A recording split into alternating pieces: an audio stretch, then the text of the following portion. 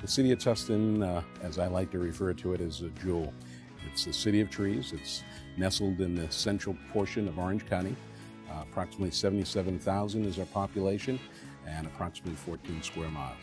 The focuses of government in the city of Tustin primarily are economic development, ensuring that we have a great quality of life, and also making sure that we have a safe community. Today I'm standing here in one of the blimp hangars. The blimp hangars were developed in order to assist the Navy uh, during World War II, and they are historic elements within our community, and we hope to be able to preserve them for generations in the future to see. We are looking at a base reuse in Tustin, and we're looking now as how we can use them for an economic tool to move our community forward. We're looking at creating an environment where we can have people who can live, work, and play. Um, and that kind of economic tool is what we look at as the big perspective and big picture. The development of Tustin Legacy is paramount for the future of this community. It will provide quality services, residential community, commercial community, parks and recreations, and abundance of just great things that'll help this city to flourish for many years to come. The Legacy Project is, encompasses all of the base reuse. It encompasses over 1,600 acres, um, and we have divided it up into basically three distinct development areas. High-tech, business, office park type of development, housing at all levels, from affordable housing units to standard single-family development. And then to round that off, we have the design concept of a linear park the Linear Park on the Tustin Legacy Project is a unique opportunity for our citizens to uh, move about the legacy without the use of cars. Citizens can move around freely, not only walk, run, but can also can get on their bicycles, and I think that's a great way uh, for us to move forward and be unique in, here in Orange County. Currently right now under construction is really what we call the, the spine of Tustin Legacy's Tustin Ranch Road extension. It's been a road that's been planned for over 30 years. It's approximately about $36 million. And it basically is the extension of Tustin Ranch Road down to uh, the southern end, linking it up with Barranca. We started building some homes, bringing more people into the community. And we also started with our first uh, commercial area, which is called the District, which um, provides shopping, restaurants, um, a movie theater type of venue so that people can uh, literally live here, shop here, play here. What this really does is it creates additional synergy for the community. It's going to bring people to the community to shop.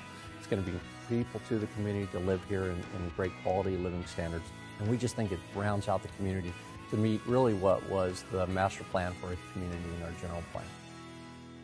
The Tustin Legacy development is representative of all of the high quality work that's done in our community. Tustin Police Department is uh, one of only three accredited police departments with uh, special accreditation in Orange County. They focus on community policing and working in the community with the public and developing partnerships with all of the stakeholders. Community policing is really all about getting out into the community and working with all of your stakeholders. And they know that they can come to the police department about problems and about issues and take care of them before they become bigger problems and issues. The Parks and Recs Department is a premier portion of our city government. We have just an abundance of elements that I think have something for everyone. Our mission is to enhance the quality of life of our citizens. And we do that through uh, providing inclusive uh, parks and recreation programs, open space, creating community in general. We do that through a variety of programs, special events, and senior services and youth programs. The growth of a strong, vibrant community in the city of Tustin is very, very important. It is the foundation of what brings about economic development, and without economic development, you can't have a really great city. One of the things we pride ourselves in is being a very business-friendly community.